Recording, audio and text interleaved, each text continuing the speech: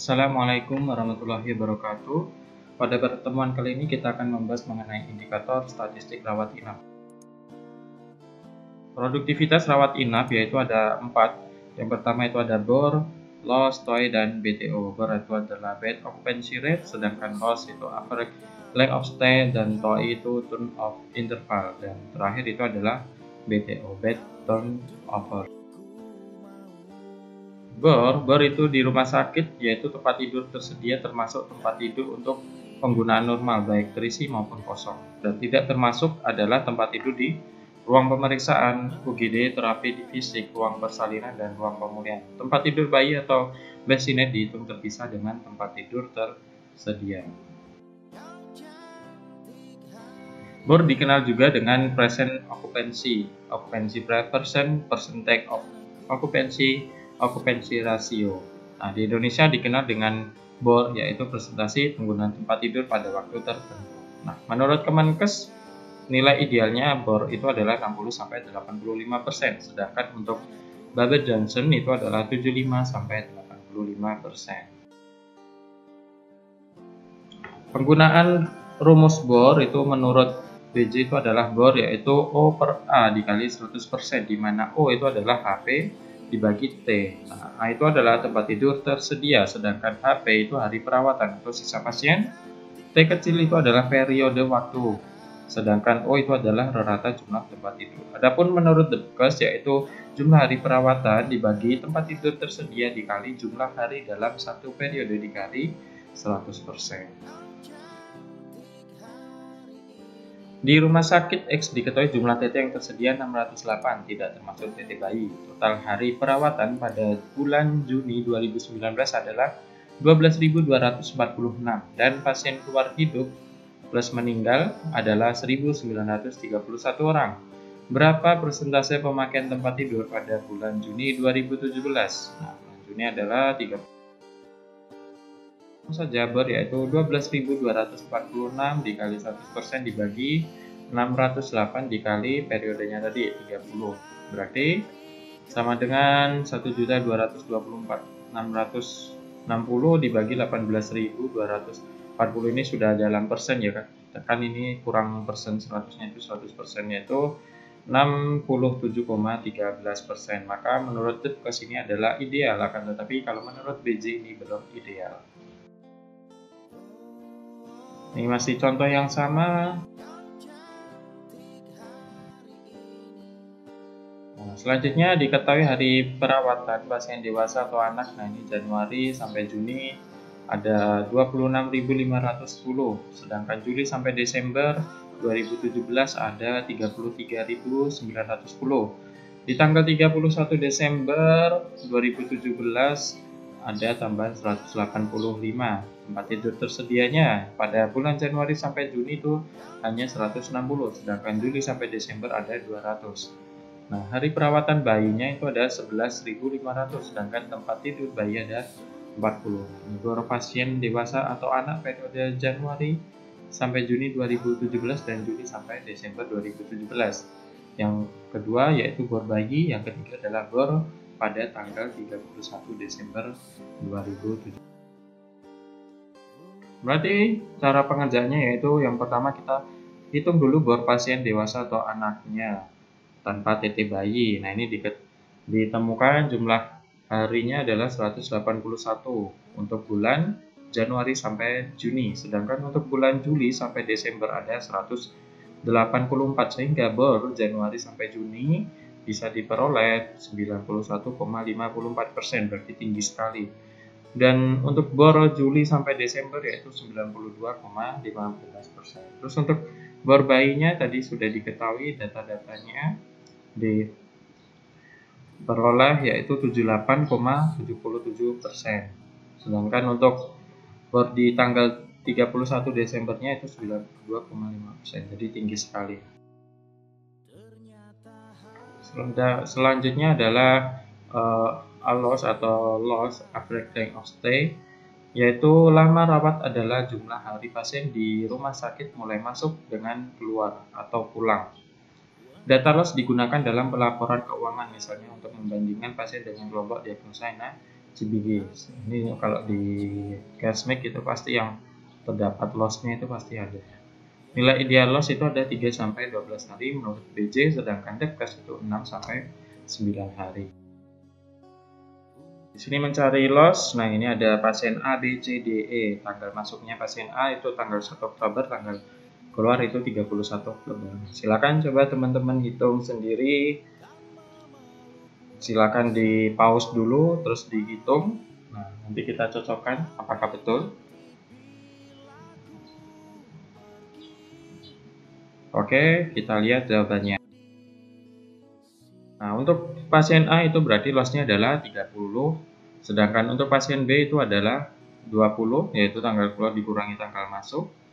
Nah ini untuk C berarti 35 untuk D itu berarti lossnya 1 ya, nah, masuk dan keluar di hari yang sama berarti pasien ODC one day service ya. Terus pasien E itu berarti juga satu. Nah tapi di kalau di Najib Bigis nanti juga berbeda. Mungkin 20 sampai 21 itu nanti terhitung dua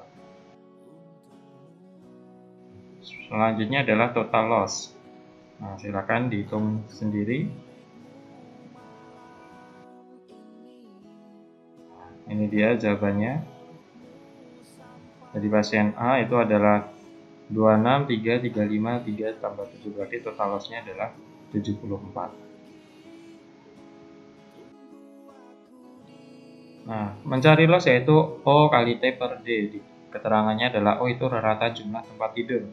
T itu periode waktu, D itu pasien hidup dan mati. Untuk Depkes adalah jumlah lama dirawat dibagi jumlah pasien keluar hidup dan mati adalah contoh pada bulan Desember 2019 Rumah Sakit Indonesia melaporkan total lama, lama rawat yaitu 923 hari pasien dewasa dan anak 107 hari bayi baru lahir selama sebulan tersebut pasien keluar dewasa dan anak pasien dan anak ini pasien dewasa dan anak sebanyak 192 orang dan 37 bayi. Hitunglah rata-rata lama rawat pada bulan Desember. Langsung saja berarti total apa hari perawatannya tadi lama dirawatnya 923 dibagi jumlah pasien keluar hidup dan meninggal 4,8 hari. Masih ideal. Yang bayinya juga sama masih 107 dibagi 37 2,9 hari hampir mendekati ideal pada bulan ini juga masih sama silahkan teman-teman mencoba untuk mengerjakan sendiri silahkan di pause setelah itu, teman-teman kerjakan dan coba lihat hasilnya apakah sama atau tidak.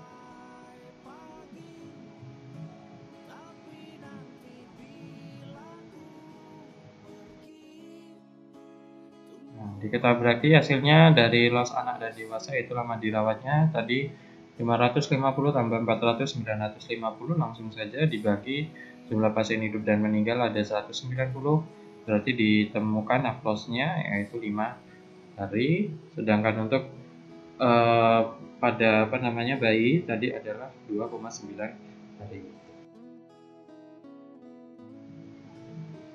Nah selanjutnya hitung dan analisis analisislah loss. Yang pertama itu lossnya 6 yang kedua itu 13 yang ke pasien C itu 4 pasien D itu ada 1 pasien E itu ada 7 jadi kira-kira kalau dari sini yang uh, dari sini kita bisa memberi uh, apa namanya uh, memberi analisis analisis dugaan sementara yaitu untuk pasien B mungkin memiliki gangguan kesehatan yang berat. Dan untuk pasien yang D itu mungkin gangguan kesehatannya ringan. Sini berarti ini berarti kita menghitung loss pada bulan uh, Januari ya. Januari dan Februari. Ada tinggal ditambah 6 ditambah 13 tambah 4 tambah 1 tambah 7 yaitu 31 jumlah pasiennya ada 5 berarti 31 dibagi jumlah pasien yang keluar hidup dan masih ada 5 ya kan pasien A, B, C, D, dan E berarti kosnya adalah 6, Selanjutnya Toi. atau turnover interval. Nah, di sini semakin besar angka TOI, semakin lama saat tempat tidur kosong. TT semakin tidak produktif. Semakin kecil angka TOI, semakin singkat TT menunggu pasien berikutnya. Nah, ini nilai ideal adalah 1 sampai 3 hari. Jadi, tempat tidur setelah digunakan itu paling enggak seminimal minimal mungkin itu adalah satu hari dulu dikosongkan.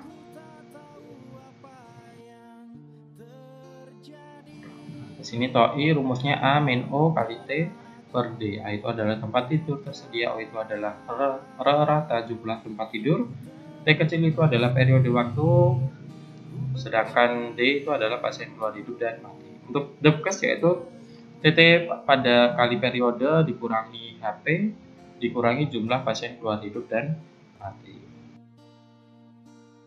Di Rumah Sakit Indonesia diketahui jumlah TT yang tersedia 608 Total HP pada bulan Januari 2019 adalah 12.246 dan pasien keluar hidup 1.929 ditambah pasien meninggal sebanyak dua orang. Berapa TOI pada bulan Januari pada bulan Juni 2019? saja berarti 608 kali periode tadi 30 dikurangi Jumlah HP-nya 12.246 dikurangi dibagi jumlah pasien hidup keluar hidup dan meninggal yaitu 1931 dan tinggal. Berarti to ini adalah 3,1. Hampir ideal. Berarti mungkin di sini kalau kita bisa gambarkan kesimpulannya adalah tempat tidur di rumah sakit ini mungkin jarang digunakan ataupun mungkin pasien untuk rawat inapnya lama kayak gitu eh sedikit gitu. Sehingga angkanya itu adalah lebih dari tiga hari. Silahkan teman-teman pause dan teman-teman tulis sebagai apa namanya belajar sendiri kayak gitu. Silahkan teman-teman tulis jawabannya dan jangan lupa di pause nanti kita cocokkan bersama-sama oke baik. Kita akan cocokkan berapa? Nah, di sini ada 210 kali periodenya 31 dikurangi HP-nya 4780 dibagi jumlah pasien keluar hidup dan meninggal 730 berarti TOI-nya adalah 2,36 atau dua hari lebih dikit lah lebih dikit kayak gitu nah dari sini kita bisa simpulkan bahwasanya penggunaan uh, apa namanya uh, tempat tidur di sini adalah ideal dengan waktu kosong untuk setiap rata-rata setiap uh, tempat tidur yaitu adalah dua hari lebih. Lebih 36 itu kalau dijamkan mungkin uh, sekitar 7 jam kayak gitu. Oke, sekitar 7 jam 8 jam berarti dua hari lebih 7 jam atau 8 jam tempat tidur itu kosong untuk menerima pasien selanjutnya Nah, lanjut di sini ada juga Rumah Sakit Indosat memiliki 125 TT di Bangsal Merpati, 50 di Bangsal Cendrawasih, 26 di Bangsal Merak dan 9 di Bangsal Garuda yang tersedia pada bulan November tahun 2019. Di bulan Januari 2020 yang akan datang akan dilakukan penambahan bed sebanyak 30 di Bangsal Merpati dan 10 di Bangsal Merak. Total hari perawatan di bulan November tahun 2019 pada Bangsal Merpati dan Cendrawasih sebanyak 3.760, di Bangsal Merak sebanyak 880, dan di Bangsal Garuda yaitu 140. Dengan tabel pasien keluar hidup dan mati sebagai berikut, hitung TOI pada bulan November. Nah, di Cendrawasih pasien hidupnya 120, pasien meninggalnya 2. Di Merak, pasien hidupnya 75, pasien meninggalnya 0. Di Garuda, pasien hidup 20, pasien meninggalnya 1. Di Merpati, pasien keluar hidup 515, pasien meninggalnya 3. Dengan TOI berarti yang pertama kita tulis dulu, wajib diketahui TT-nya adalah 125 tambah 50 tambah 26 tambah 9. Berarti 210. Periode waktu pada November adalah 30 hari. Total HP-nya tadi sudah diketahui 4.780 totalnya. Untuk pasien hidup dan mati, berdasarkan tabel di atas, kita jumlah langsung adalah 736. Berarti untuk toy-nya yang pertama adalah tempat TT-nya dulu 210 dikali periodenya 30 dibagi HP 4780 dibagi total pasien keluar hidup dan mati 736. Jadi rata-rata tempat tidur tidak terisi atau toy-nya pada bulan November 2019 adalah 2,06 atau 2 hari. Berarti masih ideal seperti itu. Untuk BTO terakhir yaitu beton overhead, umumnya disingkat dengan BTO, adalah berapa kali satu tempat tidur itu dipakai oleh pasien dalam periode tertentu. Nah, semakin tinggi angka BTO, maka semakin banyak satu TT digunakan untuk bergantian. Hal ini menguntungkan dari segi ekonomis rumah sakit, tapi tidak untuk pasien. Standar efisiensi BTO adalah 30 kali menurut BJ dan 40 sampai 50 kali menurut Berkes. Yang berarti semakin tingginya BTO ini bisa mempengaruhi uh, jumlah kasus infeksi nosokomia. Kita langsung ke contoh soal. Sebelumnya ada rumusnya dulu, yaitu BTO itu di per A, singkat ya. Di itu pasien keluar hidup dan mati dibagi A, rata-rata tempat tidur tersedia. Paling mudah rumusnya. Tahun 2019, Rumah Sakit Indonesia dengan tempat tidur tersedia 200, sedangkan pasien keluar rumah sakit termasuk meninggal yaitu 7054, berarti tinggal gampang ya. 54 dibagi 200, yaitu 35,27 dibulatkan 35 si ideal, biji tidak. Nah, rata-rata lama rawat loss adalah 8 hari dan bor 85%, hitung BTO.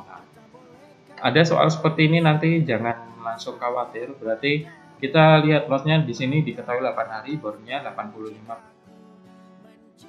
Nah, BTO yaitu bor dikali jumlah hari dalam satu periode dikali rata-rata loss. Nah, tadi tidak diketahui angka saja selama satu tahun. Berarti bornya 85% dikali 30 365 dibagi lossnya tadi 8. Berarti dihasilkan 39 kali. Itu cara menghitung BTO jika diketahui bor dan lossnya.